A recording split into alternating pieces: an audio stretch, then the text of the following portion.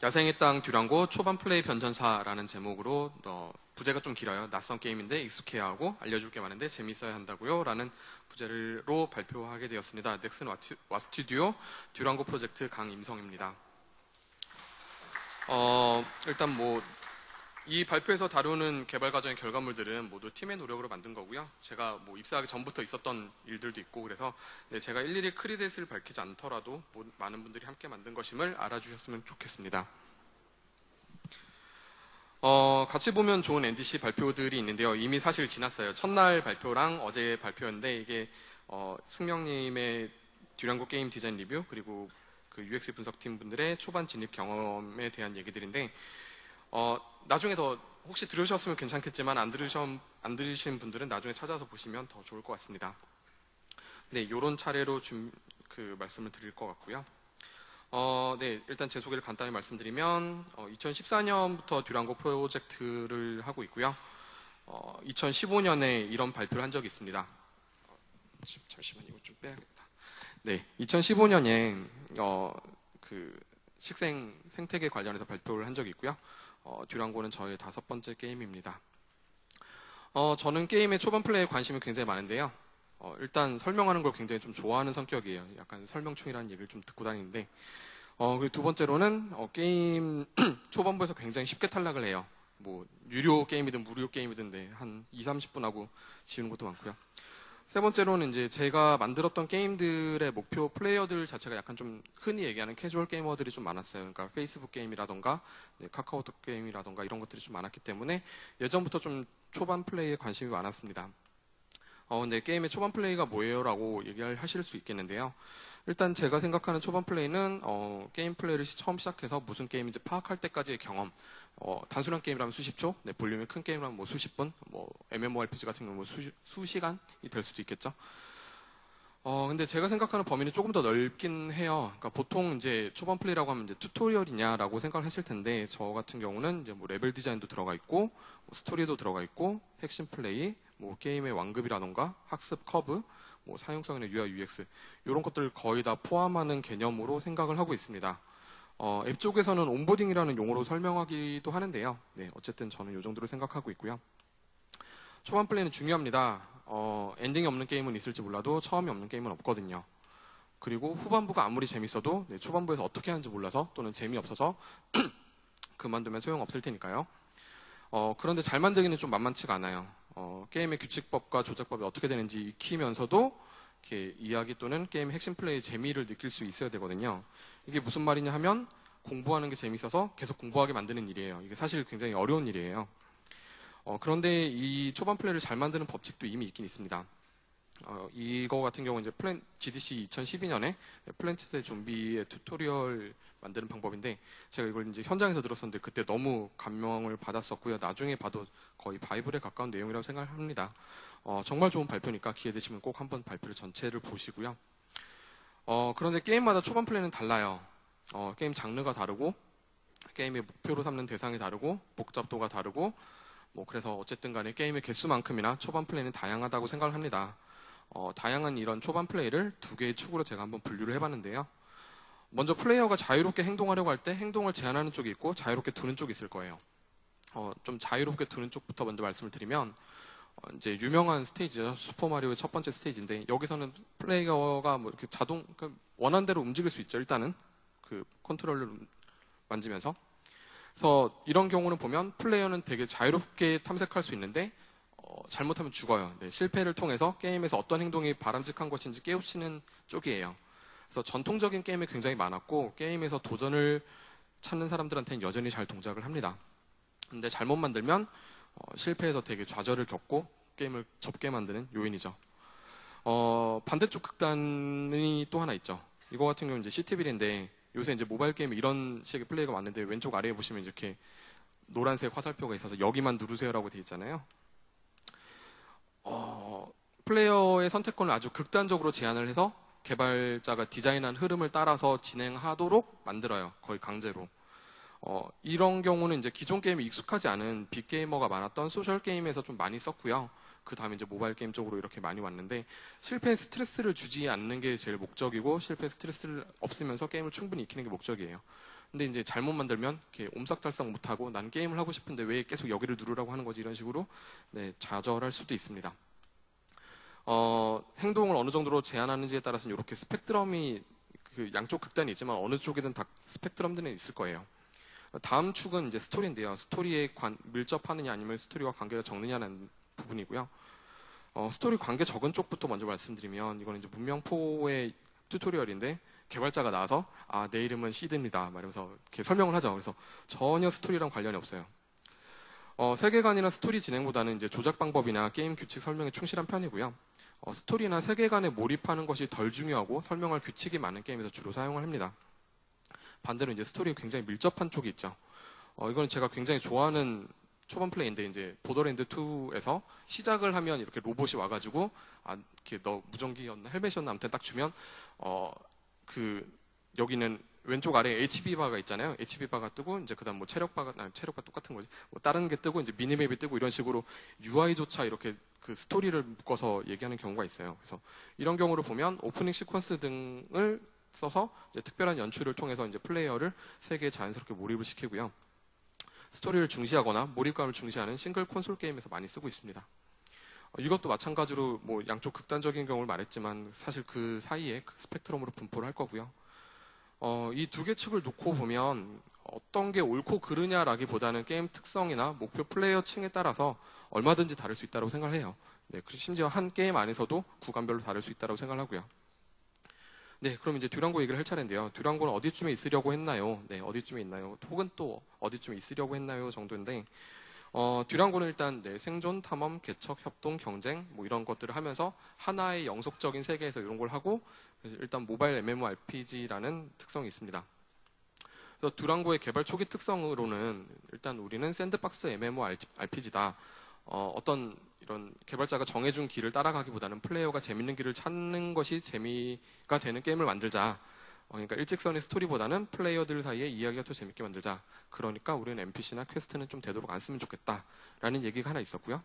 두 번째로는 성장 자체가 굉장히 좀 길고 다양하면 좋겠다. 뭐 어떤 직업이나 기술을 선택해도 꽝이 없으면 좋겠고 원한다면 성장 방향도 유연하게 바꿀 수 있으면 좋겠다라는 얘기들이 있었습니다. 어, 스펙트럼으로 나타내면 한 요 정도일 거예요. 굉장히 좀 플레이어의 자유를 주고 스토리는 뭐 그렇게 중요하지 않은 네, 이런 정도의 게임으로 생각을 했었고 초반 플레이도 이 정도로 생각을 했습니다. 어, 하지만 이렇게 만들고 테스트하고 또 만들고 막 그렇게 하다 보니까 이 게임이 너무 낯설어요. 이렇게 그 사람들한테 굉장히 익숙한 MMORPG들은 이제 전투하고 아이템을 looting하는 쪽인데 우리 그 듀랑고 같은 경우는 채집과 제작의 비중이 상당히 높고 성장을 유연하게 만들려니까 캐릭- 캐릭터별 경험이 굉장히 천차만별이고 거기다 따라갈 만한 스토리나 NPC나 퀘스트도 없고 낯설어요. 그런데 익힐 건 또 굉장히 많아요. 아이템 속성도 좀, 좀 처음에 보면 굉장히 복잡하고 이게 모바일의 작은 화면에서 다양한 기능을 동작하려니까 꽤 복잡한 느낌이 들어요. 그래서 낯선 게임인데 익숙하게 그리고 알려줄 게 많은데 재미있게 만들다 보니까 어, 최초의 의도는 초반 플레이를 한요 정도로 하면 되겠지라고 생각했지만 실제로 만든 건 거의 한 요 정도이고요. 시작을 하면서부터 이런 식으로 게임 flow를 진행하게 되었습니다. 네, 그러면 초반 플레이를 왜 어떻게 바꿔왔는지 하나씩 살펴보겠습니다. 네, 프로토타입 단계 초반 플레이인데요. 어, 이제 이런 도트 그래픽의 네, 프로토타입이 있었고요. 어, 프로토타입은 이제 사내 테스트에서 하려고 만들었던 게임이고요. 어, 브라우저에서 실행 가능하고 네, 이렇게 보시다시피 굉장히 단순화된 비주얼이지만 채집과 제작이나 뭐 성장이나 탐색이나 multiplayer라던가 이런 핵심 플레이는 가능했고요. 어, 현재 듀랑고, 듀랑고와 달리 하나의 땅에 모든 자연환경이 섞여 있는 아주 큰 땅이었습니다. 네, 그래서 초반 플레이를 여기로 만들기로 했으니까 프로토타입의 초반 플레이도 거의 이런 느낌이었어요. 그래서 어떤 식으로 진행을 했냐면 어, 게임에 들어와서 이제 방- 캐릭터를 막 움직이다가 이 캐릭터가 물가에 닿으면 이렇게 도움말 같은 게 하나 떠요. 무전기에서. 어, 물은 굉장히 중요한 자원이니까 물가에는 동물들이 많이 찾아온다. 뭐 이런 식으로 설명을 해주는 거죠. 그러니까 반응형 가이드라고 라고 이걸 저희는 불렀는데 플레이어 상태 변화에 따라서 무전기로 관련 정보를 이렇게 알려주는 거예요. 그래서 또 장기 가이드로는 이제 플레이어가 선택한 장래의 희망에 대해서 어, 어, 이런저런 여러 희망을 골라서 그러면은 어떤 스킬을 찍는 게 좋을 것이고 그 스킬에 대해서는 상세하게 어, 다음 레벨까지 어떤 경험치가 필요하고 뭘 채집하면 된다 이런 식으로 장기 가이드라는 거를 만들었습니다. 어, 이때 프로토타입에는 이제 대륙이라는 게 있었고, 그러니까 하나의 대륙만 있었고, 반응형 가이드, 장기 가이드 이렇게 두 가지의 어, 초반 플레이가 있었습니다. 그런데 이제 테스트를 하려고 보니까 이제 오프닝 씬 같은 게 필요하잖아요. 그래서 어, 현대인이 왜 공룡 세계로 떨어졌는가에 대한 상황 설명과 약간 신비감을 조성하는 그런 오프닝 씬 정도는 있어야 되지 않을까라는 얘기가 있었고요. 어, 그래서 실제로는 이런 식으로 진행이 됐어요. 어, 친구들과 캠핑을 왔고, 어, 그런데 깨보니까 이렇게 되었고, 그 다음에 이제 바로 게임을 시작할 수 있는 거죠. 그래서 어, 플레이를 막 하다가 갑자기 더워지면 아, 더우면 좀 물에 갔다 오면 좋을- 물에 들어갔다 나오면 시원해지는데 아니면 대륙 안쪽으로 가면 시원한 것이 있어 이런 식으로 반응형 가이드를 알려주 반응형 가이드로 어떻게 해야 되는지를 알려줬습니다. 네 그러면 지금 만든 게 어, 반응형 가이드와 장기 가이드 같은 경우는 굉장히 좀 플레이를 자유롭게 푸는 쪽이고 스토리랑은 크게 어, 엮여 있지 않는 부분이고요. 오프닝 씬 같은 경우는 사실 cutscene이라서 행동을 제한한 것도 없지만 어쨌든 스토리는 있는 네, 이런 식의 플레이였고요. 프로토타입에서는 네 이제는 이제 실제 pre-production 끝나고 네, 실제 플레이들을 만들면서 프롤로그를 만들게 되었습니다. 어, 지금 이 당시의 구조는 오프닝 씬에서 대륙으로 이어지는 구조였고요. 여기 이제 프롤로그를 만들자 어, 고퀄리티로 어, 미스테리한 느낌을 주고 임팩트가 커야 되고 사람을 hooking할 수 있어야 되고 그리고 캐릭터를 선택하는 그런 기능 같은 게 필요하고 조작 방식을 설명하고 전투도 좀 해봤으면 좋겠고 어, 백그라운드 다운로드 됐으면 좋겠다라는 얘기를 했고요. 그래서 처음 얘기 나왔던 게 이런 거였다고 해요. 그래서 현대의 고가 도로나 아, 다리처럼 굉장히 좁은 곳에 랩터랑 티라노가 나타나서 막 싸우다가 어딘가로 warp한다 뭐 이런 설정이었는데 이제 캐릭터가 움직여야 되고 여러 명의 캐릭터를 뭐 설명 그러니까 선택을 해야 되고 이런 것들이 있으니까 아이디어가 더 나가서 그렇다면 어, 기차에서 이렇게 앉아 있는 사람들을 캐릭터를 선택을 하고 이동 가능하게 만들면 좋을 것 같다라는 얘기를 했습니다. 어, 여기 이제 프롤로그가 좀 제대로 만들어지게 되었고요. 어, 초반에는 이게 터치기기니까 어떻게 움직여야 될지 몰라서 사람들이 혼란스러운 부분들이 있었거든요. 그래서 손가락을 띄워주는 손가락 가이드를 이제 만들게 되었습니다. 어, 네, 그렇게 만든 프롤로그인데요. 여기 보시면 플레이 중에 아래쪽에 이제 다운로드를 추가로 추가 asset을 다운로드를 받는 걸 볼 수 있죠. 어, 백그라운드 다운로드인데요. 앱 설치 후에 이제 바로 플레이를 하면서 추가 다운로드를 하기 때문에 그 앱 설치하고 뭐 수 기가를 또 다운받으면 굉장히 맥이 빠지잖아요. 근데 그런 거 없이 좀 더 쾌적한 첫인상을 주려고 노력했습니다. 네, 그래서 프롤로그는 캐릭터를 선택을 하고 어, 조작법을 익히고 그리고 이야기에 조금씩 몰입을 하다 보면서 어, 전투 방법도 익히고 그 다음에 에픽한 연출로 강렬함을 딱 주는 이런 식으로 원래 계획대로 잘 나왔습니다. 네, 그 프롤로그가 끝나고 나서 이제 단기 가이드라는 걸 또 만들게 되었는데요. 어, 대륙에 이제 사람들을 던져놓고 나니까 이 반응형 가이드로는 좀 문제가 생기는 거예요. 어, 반응형 가이- 가이드가 느낌은 괜찮은데 게임이 들어가면 너무 헤매게 된다는 거죠. 플레이어가 처음에 어디서 스폰되는지 아니면 무슨 행동을 하는지 그거에 따라서 게임 이해도가 너무 달라지게 되고요. 그래서 요 앞부분에 뭔가 게임 시작할 때 순서대로 할 만한 일을 좀 주면 좋겠다. 뭐 이를테면 작사를 만들어서 물고기를 채집하고 모닥불을 피워서 물고기를 구워 먹어라. 뭐 이런 식의 플레이들을 좀 설명을 해주면 좋겠다. 아, 그러니까 플레이를 제시를 해주면 좋겠다라는 얘기가 있었죠. 지금은 좀 되게 막막한 상태니까 그걸 근데 이런 거를 또 무한정 줄 수는 없으니까 우린 샌드박스 게임인데 그래서 단기 가이드라고 부르고 이런 할 일들을 좀 만들어 보자라는 생각을 했습니다. 그래서 이제 단기 가이드라는 걸 만들게 되었고요. 어 이제 그렇게 해서 처음 만든 버전인데 이제 K의 첫 버전이에요 이게. 어, 이제는 무전기가 나왔을 때는 좀 굉장히 좀 거리감이 머니까 무전기 대신 인물이 등장을 해서 네, 좀더 정서적인 유대감을 형성하는 쪽으로 갔고요. 네. 이때는 K가 좀 반말을 했죠. 어, 다음으로 이제 손가락 아이콘으로 다음 해야 될 일들, 다음 눌러야 될 곳을 처음에 이렇게 설명을 좀 해줬어요. 어디를 눌러야 된다라는 걸 설명해줬고요. 그리고 이제 플레이어가 게임에 익숙해지기 전에 해야 할 일들을 차례대로 알려주고 여기에 좀 개연성을 넣기 시작했습니다. 이를테면 어, 에너지가 필요한 에너지를 모아야 된다 너는 어, 그리고 밤에는 사나운 동물이 많으니까 걔네는 모닥불을 무서워하니까 모닥불을 만들어 모닥불을 할, 만들려면 땔감이 필요한데 땔감을 구해봐 라는 식으로 이런 좀 개연성과 할 일들을 좀 주는 일들이 있었습니다. 어, 네, 그래서 오프닝 씬, 반응형 가이드, 장기 가이드 사이에 단기 가 어, 오프닝 씬은 이렇게 기차로 바뀌게 되었고요. 단기 가이드는 한요 정도 되는 것 같아요. 스토리도 조금 있고 행동을 약간 좀 제한하는 쪽에 가까웠죠. 그러니까 제한하진 않지만 어, 우리는 이런 행동을 했으면 좋겠어라고 제시를 하는 쪽이죠. 그래서 이렇게 만든 플레이가 꽤 나아졌다고 생각을 했는데요. focus group을 테스트를 해봤더니 어, 네, 유저들의 반응을 좀 모아봤는데 게임 초반 경험이 어땠나요? 라는 질문에 대해서 어, 초반 가이드가 너무 짧아서 그러니까 이게 한 2주 정도 한 초- focus group 테스트였는데 초반 가이드가 너무 짧아서 이틀 정도는 의미 없는 시간을 보냈다. 어, 초기 시작지 이제 튜토리얼이 너무 부족하다. 어, 퀘스트 설명이 없어서 어려웠다. 가이드가 너무 빈약하다. 어, 튜토리얼이 있다는 걸 처음 알았다. 자기는 예, 그 중간에 하나 빼먹었더니 안 돼가지고 그리고 이분 같은 경우는 기차 플레이는 너무 짧은데 초반 가이드는 또 너무 길었다. 뭐 이런 식으로 예, 제대로 동작을 안 하고 있죠. 그러니까 퀘스트가 부족하다. 초반 가이드가 정보가 너무 없어서 불친절하다.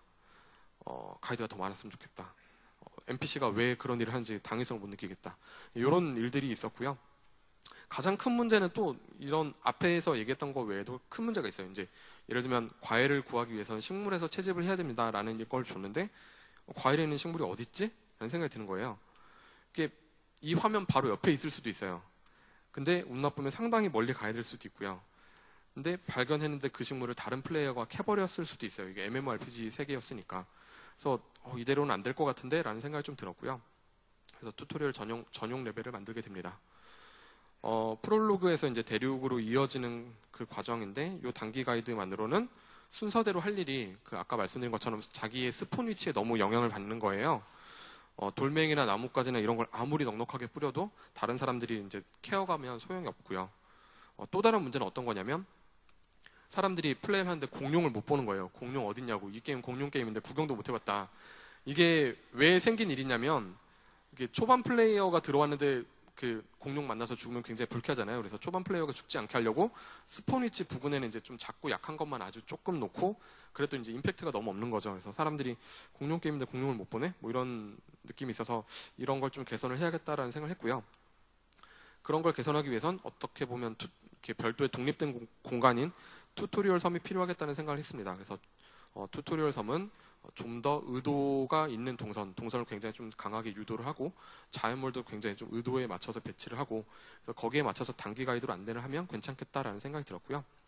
어, 근데 이런 얘기를 듣다 보면 어, 듀랑고는 섬 자동 생성 아니었나요? 라고 이제 반문하실 수 있을 것 같은데요. 어, 2014년에 이제 그 듀랑고의 섬 관련한 얘기가 있었고요. 제가 2015년에 이제 생태계 쪽 생성하는 부분을 얘기를 했는데요.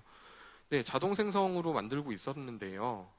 어, 근데 이런 그 튜토리얼 섬에서 세밀한 의도까지 만족을 시키려면 자동으로는 도저히 답이 안 나오는 부분들이 있습니다. 어, 이게 이제 제가 했던 수정 중에 일부인데 예를 들면 요런 화면을 요렇게 바꿨거든요. 사실 크게 바뀐 점 모르시겠죠. 오른쪽에 그 나무를 조금 내려서 물이 조금 더 잘 보이게 했으면 좋겠다라는 그 의견들이 있어서 그렇게 바꾼 건데 근데 이런 게 사실 게임 초반 플레이는 영향을 미쳐요. 사람들이 물로 가라라고 했을 때 물이 어딨냐, 보이냐, 안 보이냐, 뭐 이런 거 가지고 되게 갑론을박하게 되는데 이런 게 영향은 끼치는데 이런 걸 자동으로 할 수는 없죠. 몇 픽셀 옮겨주세요 이런 걸 할 수는 없잖아요. 네, 그래서 이렇게 되게 자조적인 얘기긴 하지만 네, 한 그루 한 그루 심지 않아도 된댔지 심으면 안 된다고는 안 했다 뭐 이런 얘기도 하고 네, 게임은 손으로 만들어야 맛이다 뭐 네, 이런 얘기도 좀 했습니다. 네, 그럼 이런 tutorial 섬을 만들려고 하, 자 이제 그럼 우리 tutorial 섬을 만들자라고 얘기를, 했, 얘기를 했을 때 사람들끼리 이제 원하는 게 굉장히 많을 거잖아요. 어 이제 기차에서 warp된 세계가 어떤 곳인지 알려주면 좋겠다.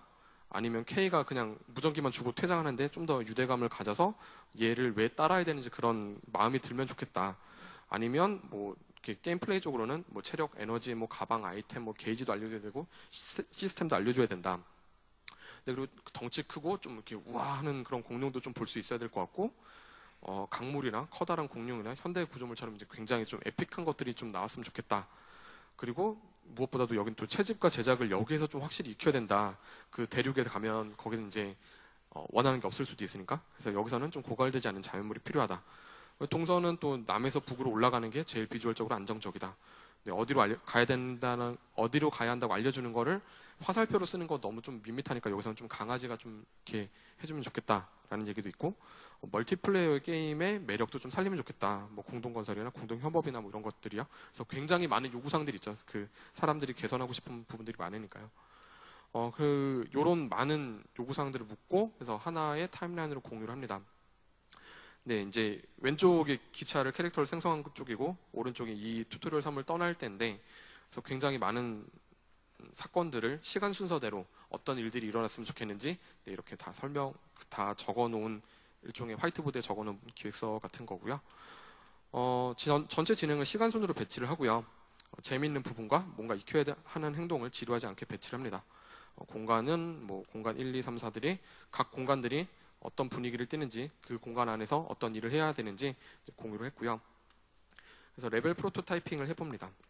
그래서 첫 번째 시작을 해서 깨어난 다음에 뭐 채집을 하고 장애 뭐 도구를 만들어 본 다음에 호수를 지나가고 모닥불을 지나서 뭐 이렇게 사파리처럼 좀 이렇게 동물 좀 구경하다가 해변에 도착하면 되지 않을까? 뭐 이런 생각을 하나고요. 이거에 맞춰서 이제 레벨 prototyping을 한번 해봤습니다. spawn돼서 채집 기차가 있고 강이 있고 네, 이런 걸 먼저 prototyping을 해보고 그래서 이 안에서 내부적으로 좀 플레이를 해봤는데요. 어, 피드백이 나왔는데 이제 너무 좁다. 이렇게 아무리 동선을 유도하는 거라고 해도는 이 세계가 너무 좁아서 이렇게 기차랑 저 거의 공간감이 비슷하다.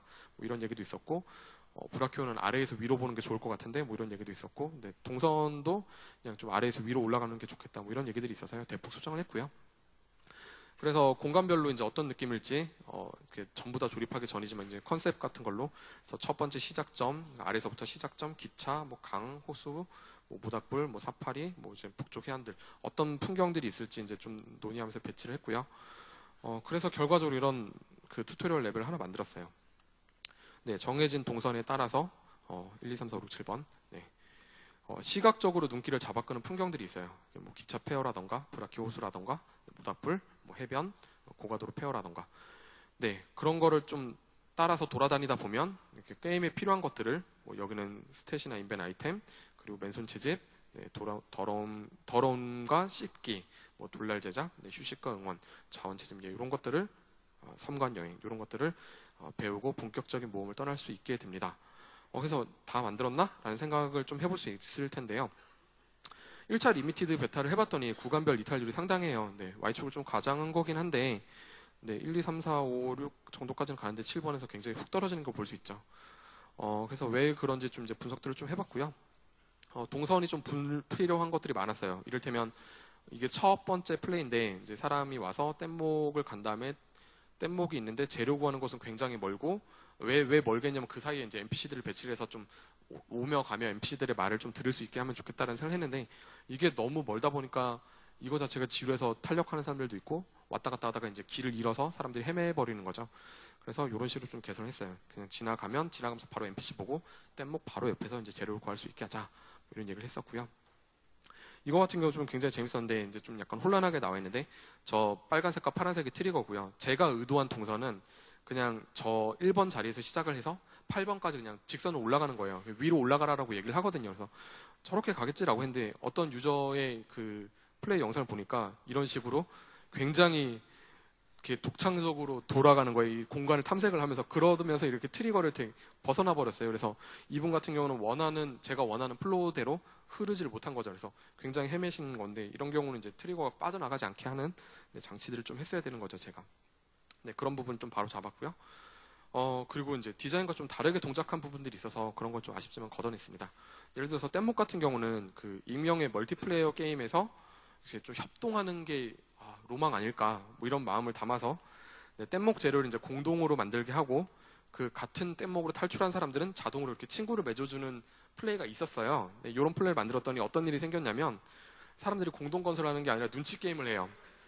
어, 30개의 재료를 모아야 된다고 하면 이렇게 29개까지 가만히 기다리고 있다가 줄기 하나 딱 넣고 자기는 이제 출발해버리는 거죠. 네, 이게 굉장히 네, 좀 슬픈 상황이죠. 네, 그리고 자동으로 친구를 맺어줬더니 그 친구 됐던 사람들이 사유질 털어가요, 몰래. 그래서, 아, 이거는 안 되겠다. 네, 이런 생각에, 네, 뗏목은 이제 개인 뗏목으로 수정을 했습니다. 네, 이런 작업들을 한 결과 limited 2차 beta에서는 상당히 좀 개선을 했고요. 네, 출시 때는 훨씬 더 네, 개선을 많이 했습니다. 네, 그래서 완성된 앙코라의 플레이는 NPC를 만나고 이제 피아가 아 피아래 K가 나와서 이렇게 응급처치 심폐소생술부터 해주니까 생명의 은인이잖아요. 그래서 굉장히 감정적 유대감을 얻을 수 있고요. 어, 거대 공룡도 이제 구경할 수 있고 네, 싸우지는 못하지만 채집과 제작도 이제 확실히 익힐 수 있고요. 아이템의 속성 시스템도 익힐 수 있습니다. 굉장히 좀 한국스러운 네, 수능 수능 보는 듯한 느낌이지만 어쨌든 잘 동작하는 방식이고요. 어, 그래서 지금까지 만든 플레이는 이렇게 기차와 단기 가이드가 있었는데 이 사이에 이제 앙코라를 넣어서 행동을 좀 어느 정도로 강제하지는 않지만 동선을 통해서 유도를 하고 스토리도 좀 굉장히 많이 넣은 이런 tutorial 레벨을 만들게 되었습니다. 어, 네, 이렇게 만들고 나서 저희가 이제 또 큰 변화를 한번 겪었는데요. 불안정섬이라는 게 생겼어요. 어, 어떤 문제냐면 이제 프롤로그랑 앙코라랑 이제 대륙으로 바로 이동을 하게 되는데 이 대륙 같은 경우가 사유지랑 귀한 자원이 이렇게 서로 섞여 있어요. 그러니까 사람들이 귀한 자원한테 사유지를 선택을 해서 이제 독점하는 일도 있었고, 그러니까 대륙이 또 너무 넓다 보니까 모바일 패턴이 좀 안 맞기도 하고 그래서 여러 문제가 있었어요. 그래서 이거를 어, 마을섬과 불안정섬으로 분리를 해서 요 마을섬에선 정착 플레이를 하고 어, 뭔가 모험을 해야 되고 자원을 채집하거나 동물을 사냥할 때는 불안정섬을 가고 그래서 이 둘을 왔다 갔다 하는 플레이를 만들자. 그래서 불안정섬에는 이제 뭐 크레이터나 워플 같은 것도 많이 만들고 그래서 좀 모바일 패턴에 맞게 만들자. 이런 얘기를 했는데요. 어, 그렇게 하고 나니까 이 프롤로그에서는 가이드를 해주고 앙코라도 가이드를 해주고 이제 마을섬도 이런 가이드들이 있는데 불안정섬에도 이제 설명이 좀 필요하겠잖아요. 그래서 이제 불안정섬에도 설명 만들자.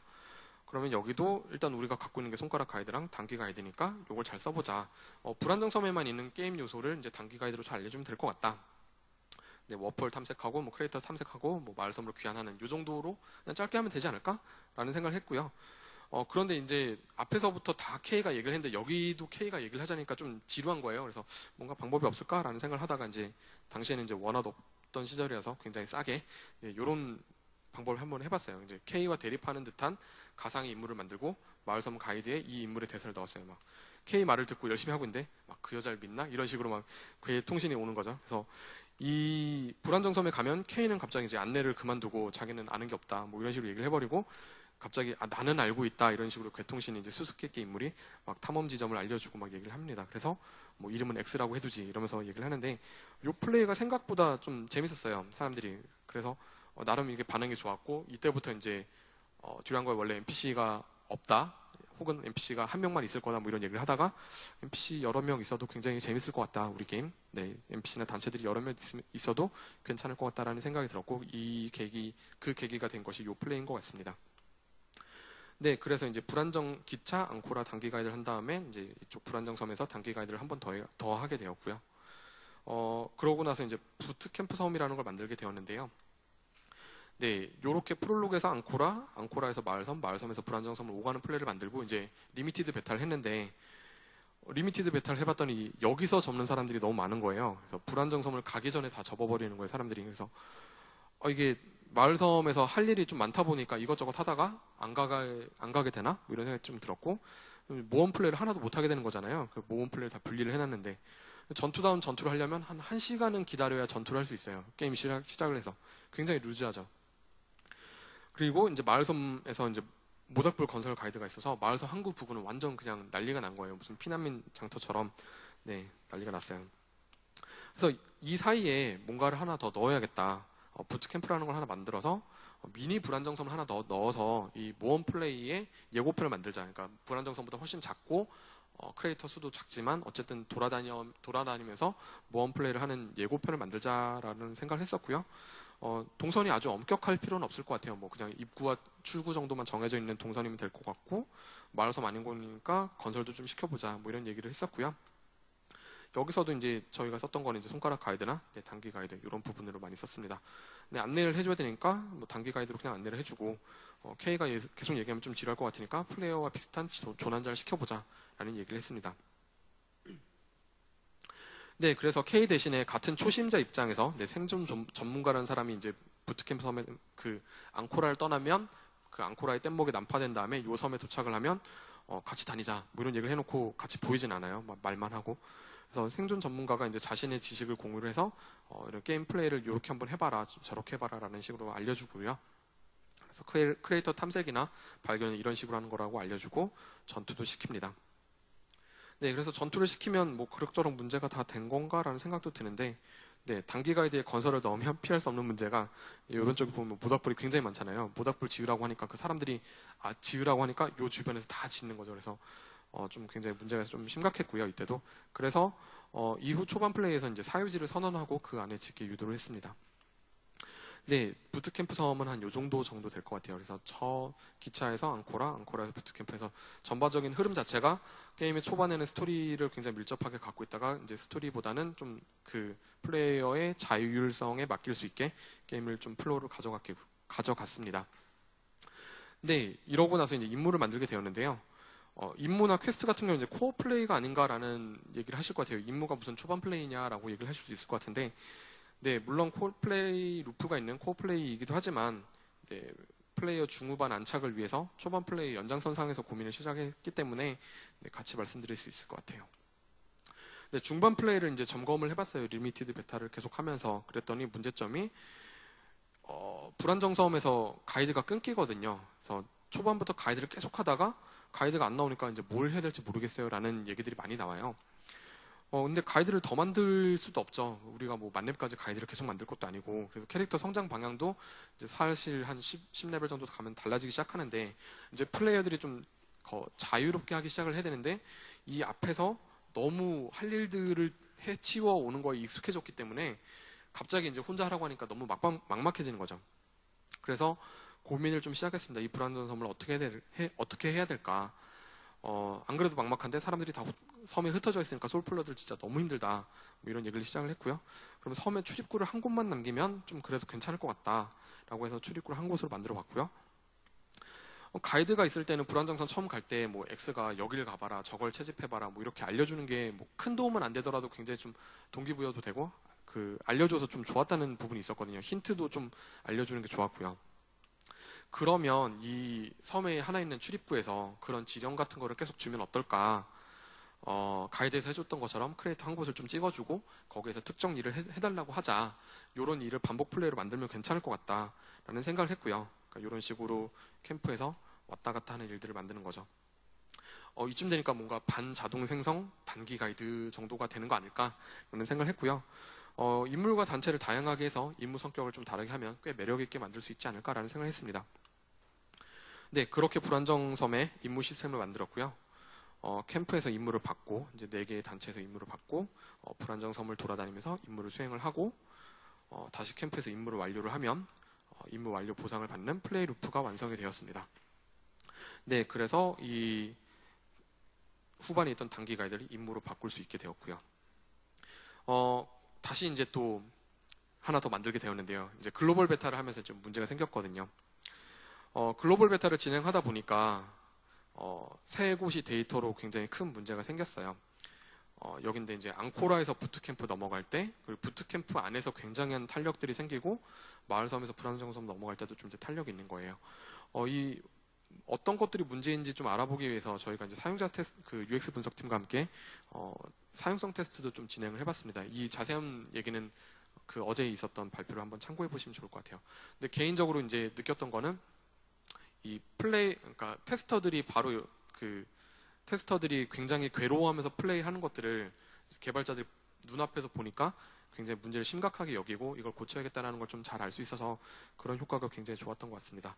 네, 그래서 이 데이터 분석과 어, FGT 어, 테스트를 직접 참관을 하다 보니까 어디가 문제인지 이제 사람들이 굉장히 많이 찾게 되었죠. 그래서 어떤 것들이 문제인지 서로 얘기를 해봤는데요.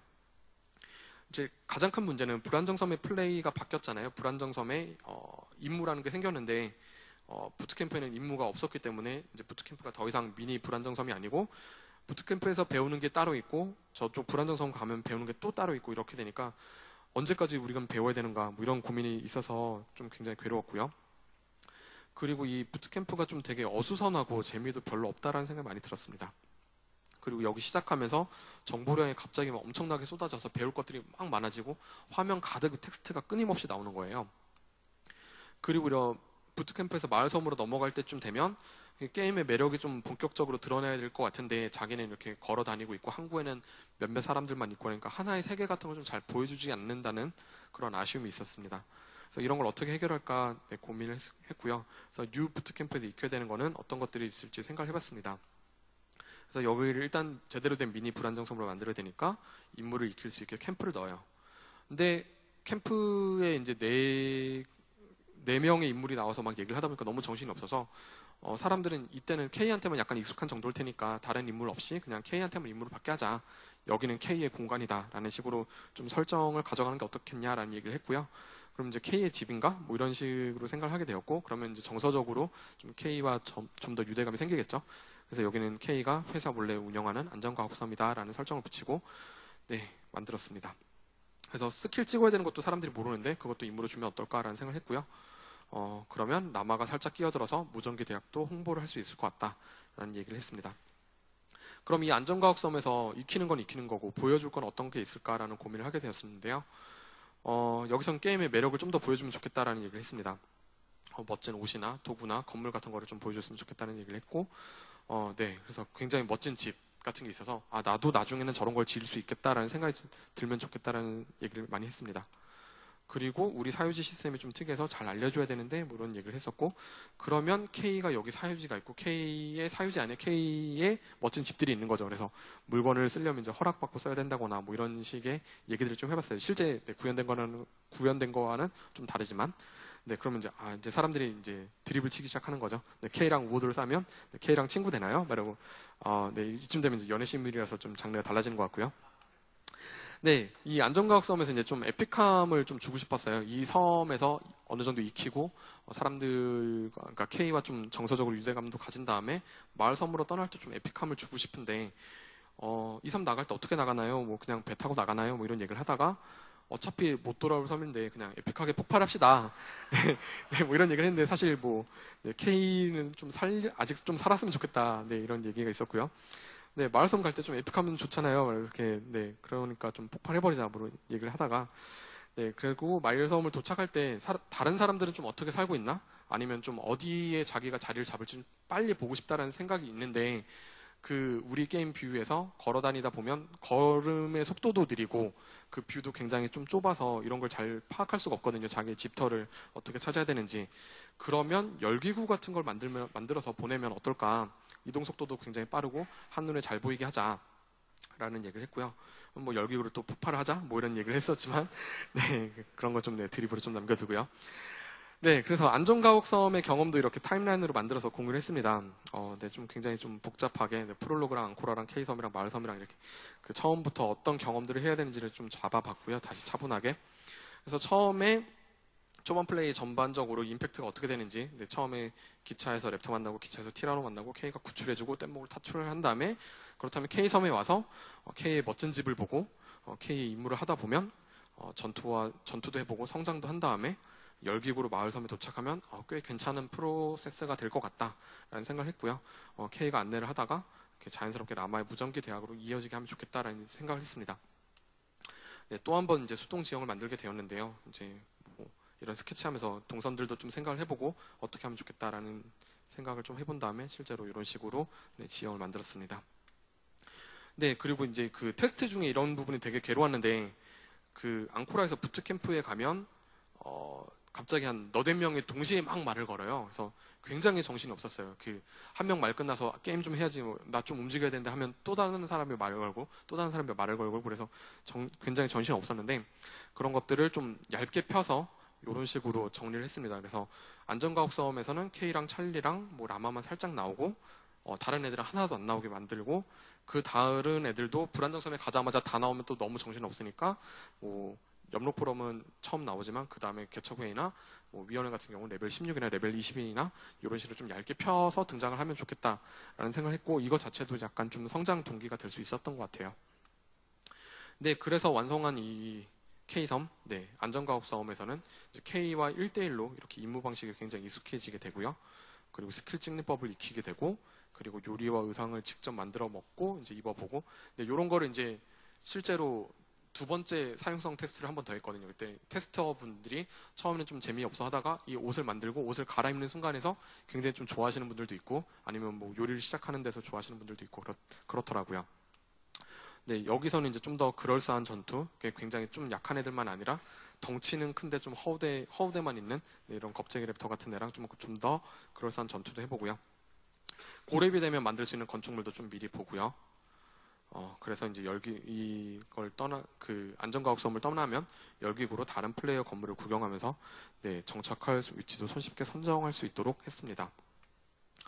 네, 그리고 그 프로토타입, 프로토타입 때부터 여러 단계를 거쳐온 장기 목표 설정이 있었는데요. 이쪽도 이제 좀 손을 보기로 했습니다. 네, 출시가 이제 임박했으니까요.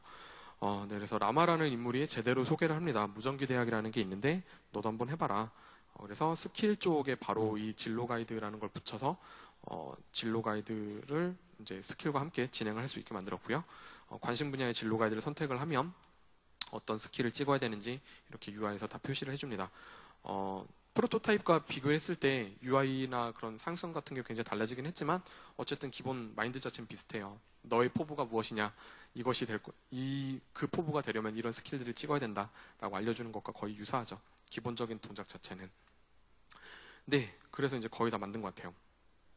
어, 부트캠프를 안전각솜으로 바꿨고 장기 가이드를 무전, 무전기 대학으로 바꿨습니다. 네, 이래서 두 장구의 초반 플레이가 완성을 했는데요. 어, 네. 초반 플레이를 어떤 식으로 이제 지금은 플레이 순서가 아니라 만든 순서대로 말씀을 드릴게요.